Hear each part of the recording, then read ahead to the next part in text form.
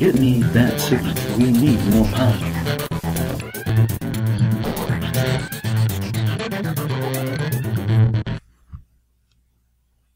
Hello again, everyone, and welcome to the Voice of E. I am your host, Elliott Miller, and in this edition, we're talking about The Sundering, the year long, universe wide event that is taking place in the Dungeons and Dragons Forgotten Realms right now. First off, I'll mention the new Sundering D&D encounter session going on now, and then we'll listen in on an audio interview with Erin M. Evans, the author of the soon to be released third book in the Sundering series called The Adversary. Prepare to return to the fan-favorite Icewind Dale region of the Forgotten Realms in the newest D&D Encounters season beginning last week. Legacy of the Crystal Shard is the second adventure of the Sundering, a major year-long event that will reshape and define the future of the Forgotten Realms.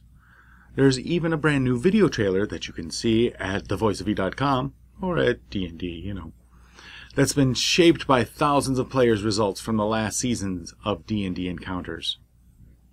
Tell the tale, live the adventure. Created by New York Times best-selling author R.A. Salvatore, along with Wizards of the Coast authors and designers James Wyatt and Jeff Ludwig, Legacy of the Crystal Shard pits players against an evil that was once defeated but has risen again to threaten the Ten Towns. The people of Icewind Dale have long stood against the perils of the North, and the events that shook the region a hundred years ago are now distant memories. But what was defeated was not destroyed, and as evil forces converge, adventurers will assist the people of Ten Towns who face their greatest trial yet. This D&D Encounter season began already last week and runs through February 12th. Start playing and enter your results. Following participation in weekly in-store events, gamers are encouraged to use their newest digital tool from Wizards of the Coast, the Sundering Adventurers Chronicle, to report the outcomes of their play experiences, to connect with other players, and participate in activities designed to enhance the Sundering experience. You too can experience Sundering. Adventure anywhere, anytime. Adventurers can also now play the latest D&D Encounters adventures from anywhere in the world at the same time as the in-store program. Legacy of the Crystal Shard includes a 32-page adventure book containing the major plots and encounters in the North, along with 64 pages describing Icewind Dale and its inhabitants. The set is packaged with a four-panel deluxe Dungeon Master screen with maps and information and is currently available for a suggested retail price of $34.95. That's what's going on in the stores. You too can participate in the Sundering. Now let's go to our audio interview. The interview is about 15 minutes long, so feel free to do other things while you listen, like roll up a D&D character, or look up a D&D encounter session near you, or practice juggling, or, well, you get the idea. Hello again, everyone, and welcome to the Voice of E. I'm your host, Elliott Miller, and in this episode, I'm talking to author Erin M. Evans.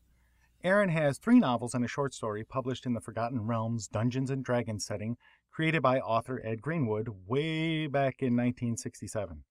Her fourth novel, The Adversary, is due out December 3rd. Erin, welcome to the show. Hi, thanks for having me. Your novels are all set in the Forgotten Realms. Can you tell me how you became involved with the Forgotten Realms in the first place? Yeah, I uh, started out working as an editor for Wizards of the Coast. Mhm. Uh, I worked on primarily I was the line editor for Eberron, um, but I also was the we we called it secondary editor for Forgotten Realms. So I handled some of the um, newer titles like the those standalones. Uh, and there was a series called Ed Greenwood Presents Waterdeep, which they were doing a limited call for, and they needed more authors. Um, with a limited call, you sort of audition a number of authors greater than what you need, so that you know you can pick the best ideas, but also then if your first choices say, "Oh, I'm too busy," or "This doesn't really appeal to me," you have you know lots of options. So this was sort of a you know, we need one more. Can you do it? Uh, the other editor had seen my personal stuff and and said, well, you, you know, you could probably write one of these. Um, and so I pitched uh, the novel that became The Godcatcher, and uh, the editor at the time, Susan Morris, and Ed Greenwood, who was co-editing, really liked it. So I, I had to go through a couple couple more rounds of, of blind calls to make sure nobody was nobody was playing favorites. But that's how I got to write for Forgotten Realms. Oh, nice, very cool. Hey, that's the way to do it. Yeah, it was it was it was almost fate. Can you tell me a little bit about the Godcatcher? The Godcatcher is one of a series books set in the city of Waterdeep, which, you know, if you're a fan of Forgotten Realms, you know it's sort of this big cosmopolitan city, a uh, big melting pot on the Sword Coast.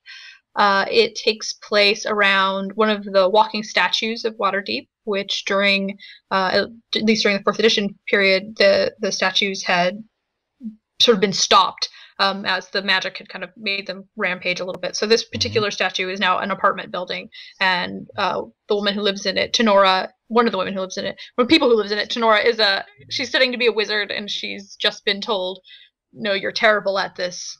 Go find something else to do."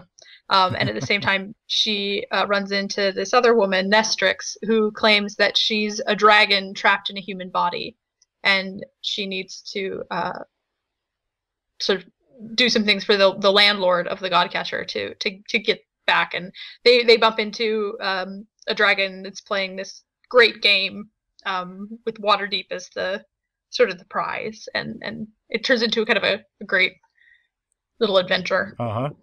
With trekking through the sewers and fighting crazy wizards and um but you know at the same time it's it's a story about identity and and sort of determining who you are and whether what people think you are, what you look like on the outside, and what uh, people decide you must be is is as true as what you feel like you are on the inside and, and who you believe yourself to be. Mm-hmm. Now, now, I think that your third book, Lesser Evils, is actually a sequel to your second book, Brimstone yes. Angels. Now, what are those about? And and did you originally intend on writing a sequel? Um, so Brimstone Angels came first. Uh, it was meant to be a book that could start a series um, that you know was focused on a particular character, um, a particular, and, and they wanted a tiefling um, for for this book. Mm-hmm. So this is this is what I ended up pitching. So that's Farideh, um, and so yeah, I did always intend to write uh, more books about Farideh. So uh, Lesser Evils then is the second. There, it's a it's a sequel. It's kind of, they're they're a little episodic. There's there's a bigger story going on, but you know, Brimstone Angels is about the city of Neverwinter and um, sort of the big powers fighting over uh, primacy there. And then Lesser Evils is about the Harpers and the Zhentarim and and Netheril um, and archaeological sites and cool monsters. And, yes. and then that brings to the adversary, right, which is still Farideh's story. Uh, so I did when I started. I I didn't. It wasn't sort of. Of course, there will be more, but there needed to be room for more. Um, but by the way, by the time I was through the first draft, they wanted to see more of these books. So pretty early on, I knew there were going to be sequels. Oh, nice! So we can expect more from that series. Oh yes, I just turned in the first draft of the next book. Oh. Which I've been told I can't say the title of quite yet. They want to wait until adversaries like out and in people's hands, but soon I'll be able to tell people the title. so I should so I should send you an email December fourth. Yes. So the book we're here to talk about is The Adversary, which does come out December 3rd. Yes. It's part of the Forgotten Realms event called The Sundering. Can you tell me about The Sundering and how you became involved? The The Sundering in the world is a uh, an event that's it's kind of a slow unfolding event where um, the Overgod AO has has sort of decided to rewrite the tablets of fate, and and what that means is that things are going to be shaken up for the gods. Um, they don't know what that the gods themselves don't really know what that means. Does that mean that Ao is going to kind of wipe the world of Toril off the map? Um, does that mean he's going to redistribute every all the powers and you know Selûne, the goddess of the moon, is now the goddess of livestock? Or does it mean that they need to snatch up all the power they have because at some point he's going to hit the buzzer and whatever you've got, you've got? Um, so different gods have different ideas of what's happening. That's sort of the big high level story. Mm-hmm. Um, the stories themselves, the books themselves, um, the adventures are about what happens to the people in the world when these big things are happening. Um, So now, did you actually sit around with the other authors and plan this whole thing out? Yeah. Uh, so uh, to be fair, they, they've done several story story summits where we come in and we talk about the stories we want to tell and how they can intersect and and what needs to happen in the world, what needs to be discussed. Um, the first one of those, I was present only on the phone. Um, it was it was actually four days after my my son was born, so I Oh right. while I really wanted to go, I live in I live in the same area as as Wizard, so I didn't. It wasn't that I had to fly, but as much as I really wanted to drive down there, my husband was like, "No, not happening. I will hide the keys. You can't just take the baby down to a, to an office full of people because you want to talk about stories." And he was right. Um, but I, you know, I, I listened in on the conference phone and um, discussed some of it. Uh, and then the subsequent ones have been just really, really great it's it's kind of ironic actually that you're all sitting around discussing the fate of a universe, kind of like you know God's looking over yourselves. yeah, you put it that way. it's, kind, it's kind of funny, yeah. Uh, so, what is the adversary about, and how does it build on the previous two books in the Sundering?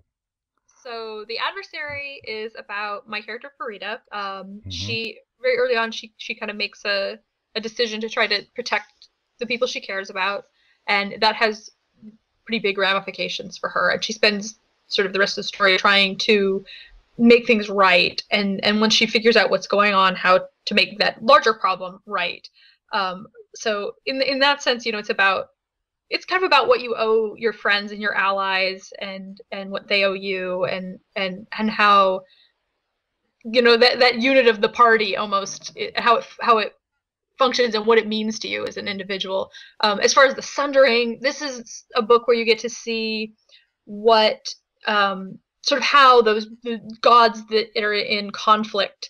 Um, you have uh, Shar and Netheril and and the Shadovar on one side, the, you know the evil Shadow Empire, um, and you have uh, at the same time you have Asmodeus, the god of sin and the nine hells and and his archdevils on the other side um, all trying to kind of outmaneuver each other by sort of passing information down this chain to people on the ground. And how that works and and how um, those individuals kind of interact um, we've seen in the previous two books uh, the appearance of chosen um, that becomes much bigger in uh, the scope of the adversary mm-hmm. um, and you you see some other powers kind of realizing something's up and and and what they need to be doing within the context of the sundering you know wh- where are the harpers and and how does they react and um but again all through the idea of what these individual characters are doing okay so you're kind of seeing through their eyes the larger effect that the whole sundering is having on on everything yeah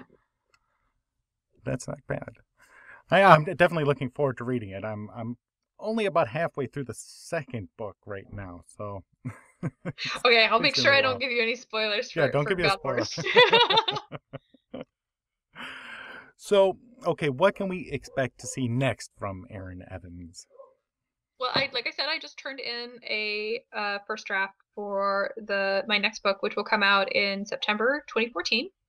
Um, mm-hmm. That continues Farideh's story. It continues sort of the, there's there's several sort of subplots that start in the adversary that that won't be resolved until the next book. Um, it's it, this is the book I can't say this is the book where I finally get to go to Cormyr. Um, when I wrote Brimstone Angels, my intention was that the next book would take this character I had, Brin, um, mm-hmm. who is connected to uh, a royal family in Cormyr, take him back to Cormyr to sort of resolve his fate and his, you know, character arc. Um, and then Wizards came to me and said, "We really want to do a book uh, about the Zhentarim coming back, but we want someone to write a book about the Harpers in relation to the Zhentarim. And can you do that? You can write your Brimstone Angels book next. And I said, well, I'm just going to do both. I'll write a Brimstone Angels book about the Harpers and the Zhentarim, and I'll do the Cormyr book next. Um, mm-hmm. Which was a great plan, but then they sent me this email and said, "Hey, we want you to be a part of the Sundering." Uh, and when everything had kind of settled out and I and they said okay you can also it could be a brimstone angels book too uh, i was like nice. okay but I, I can't go to i still can't go to Cormyr. that'll have to be the next book so when it came time for this 2014 book i was like guys I'm going to Cormyr whether you like or not. nice. It is nice though that they you kind of have both series kind of wrapped in there. Uh, so your fans get to see more from uh, Brimstone Angels without having to wait, you know, that whole time. And I'm I'm not. I know some authors like I know Ed Greenwood can can write a novel in a month. I don't know how he does it, um, but I'm I'm a little slower, especially since I have a toddler. Uh, so there there wasn't really an option for me to say, oh, I'll, write a Brimstone Angels book, you know, and then I'll also write a, a Sundering character book because initially they weren't sure they wanted they wanted a tiefling character. Um, there was a concern that that's not that, that the tiefling isn't relatable. Yeah. Um, and I went to them and I said, I'm really not happy writing a book about a human just because you think it's too hard to write a tiefling. I think I'm doing pretty well, and they and they told me this, you know, and we don't we don't want people to feel put off by something that doesn't resemble them. And I said, Are you kidding me? I mean, you look at your lineup, your, your biggest seller is Drizzt. Are you going to tell me Drow aren't really freaking weird? and you're like, it's, it's not about what, you know, race they are or what class they are. It's about, it, does this person have uh, a story that I relate to? And I, I think that convinced them. Because, I mean, yeah, you look at the Drow, the Drow, that is a weird culture. It's a strange bunch of people. That's right. but you read about Drizzt and, and you know, my, my former boss, the editor, uh, uh, who who was a magic editor at WotC, uh, Phil Athans, always said that for him, Drizzt reminded him of the high school story, right? Like this, Drizzt is like the kind of geeky outcast who gets to be friends with the with the star quarterback and the cheerleader, and and he finds a place with these these people who are sort of the cool kids of fantasy, right? The, the barbarian uh-huh. with the amazing weapon and the, the beautiful uh, archer spellcaster and and and the dwarf king who, who sort of adopts them adopts them. And, and, there's this feeling of finding the family that you belong to. Mm-hmm. and that's the thing you relate to. It's not like oh well i really feel like a spider worshipping you know drow elf that lives underground. Like that's got nothing to do with it. Right. That's just fun fantasy details. Plus you get to wear such cool costumes. That's true. Mm-hmm. Well, Erin, thank you so much for taking a few minutes to talk to me, and I wish you good luck with the adversary. Now, where can we find out more about Erin M. Evans and her work? Well, I am on Facebook. I have an author page on Facebook. Uh, it's mm-hmm. Brimstone Angels is the is the address. Uh, I'm on Twitter, and I also keep a blog at slushlush.com. S L U S H L U S H um, where I am currently having an e-signing for the adversary. So if you'd like a signed copy, um, you can go there and order one, and I will send it right off to you. Oh, that is great. All right. Well, thanks a lot, Erin. Thank you. Thanks for joining me for this Dungeons and Dragons update. And thank you to Erin Evans for taking the time to talk to me and letting us know all about what's going on with her characters in The Sundering. Let me know if you enjoyed this update by leaving a comment or sending me an email at elliot underscore miller at. Make sure to subscribe to the Voice of E channel on YouTube, like the Voice of E on Facebook, visit our website at voiceofe.com, as I'll have plenty of gaming, entertainment, and comic book coverage this year, and it should be a lot of fun. Thanks again, and until next time, keep your mind free. Get me that signal. We need more power. Thank you.